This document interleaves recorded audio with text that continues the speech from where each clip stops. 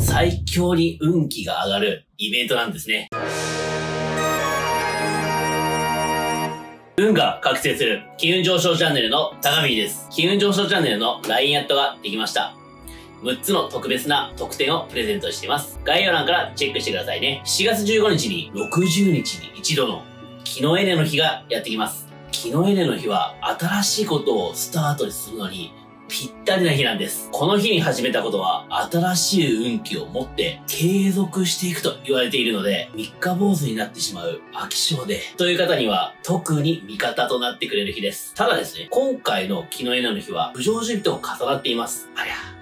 不条地人を重なっていたらダメじゃないと思う方もいらっしゃると思います。運気を見ていくと、やらない方がいいこともあるんですけど、やっても問題ないこと、逆にやった方が運気が良くなることもあって、全然悪い日ではないなという感じなんですね。前歴ではお金に関する紋章と運気の流れを変える紋章も入っていて、ちょっと流れを変えたいなという方には、運気アップアクションはすごくいい日なんですよね。というわけで今日はそんな気のエネの日の金運アップアクションについてお話をしていきたいと思います。まず、はじめに、竜神様とつながり場を清めるティンシャの音で始めていきましょう。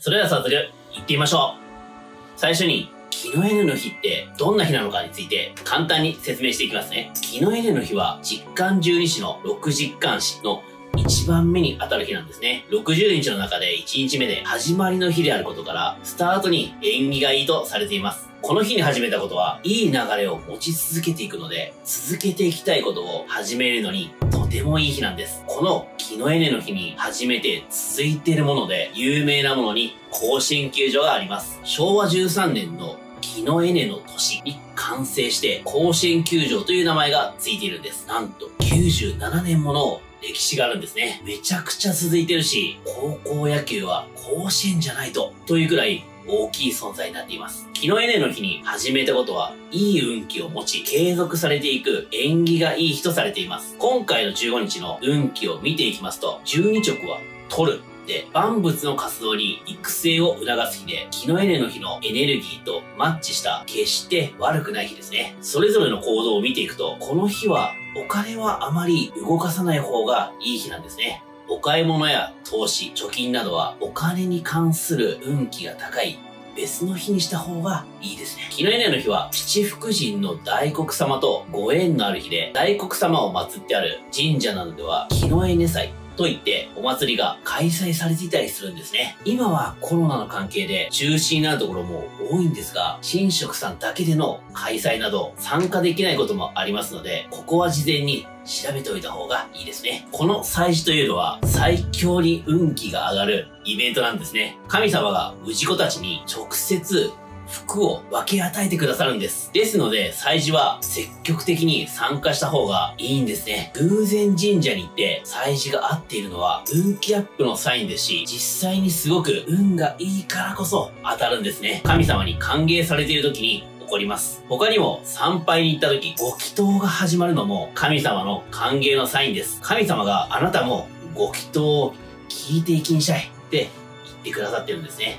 太鼓が鳴るのも同様に歓迎のサインです。今年の元旦、一発目のリモート参拝は大好きな宇佐神宮のリモート参拝にしたんですね。この動画の時、ちょうどご祈祷があって、太鼓がデデデンって鳴っている音が入ってるんです。興味がある方は聞いてみてくださいね。話はそれましたが、祭事は最高の運気アップで、気のエネの日は祭事をしている神社があるので、すごくいいタイミングだなと思います。今回の気のエネの日は、新しいことを実際に始める前に心を整えて、神様に宣言する日にすると、運気の波に乗れるようです。この日は参拝は基地ポイント2倍で、運気アップにもぴったりなんですね。この日の金運アップアクションでおすすめなのは、大黒天様が祀られている神社やお寺に参拝に行かれることがおすすめです。次に、前歴を見ていきたいんですが、15日は金213、赤い空歩く人、赤い月、男、人の成長を助けたり、人のお世話をすることでお金が回る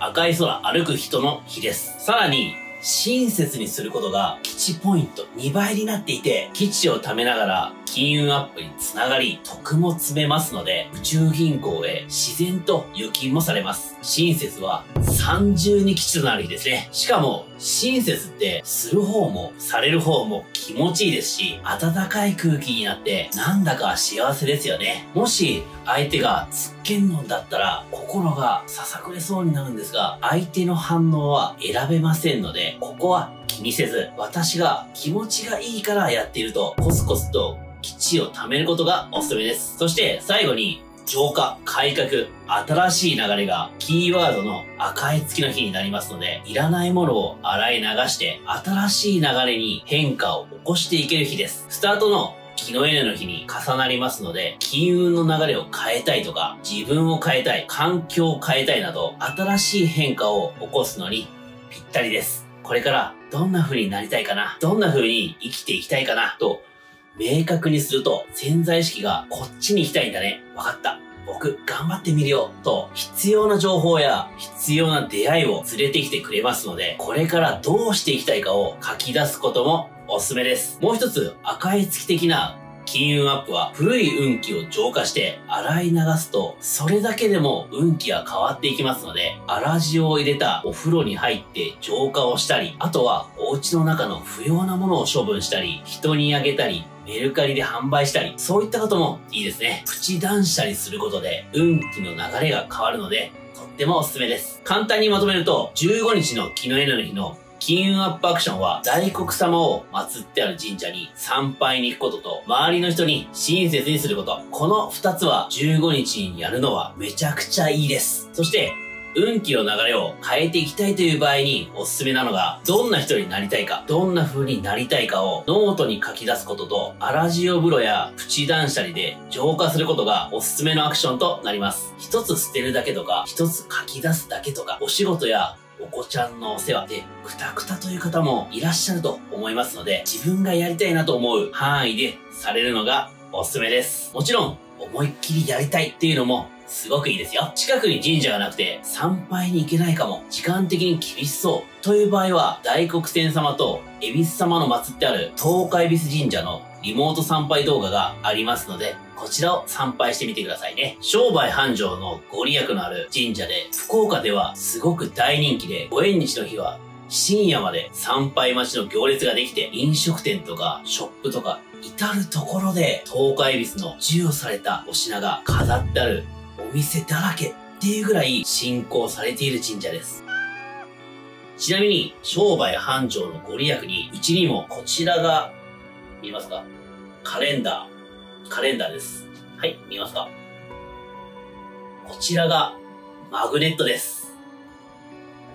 いろいろありますね。ということで、今日の動画がいいなと思ったらグッドボタン、そしてチャンネル登録をお願いします。最後に邪気を払い、波動を上げる鈴の音でお別れをしましょう。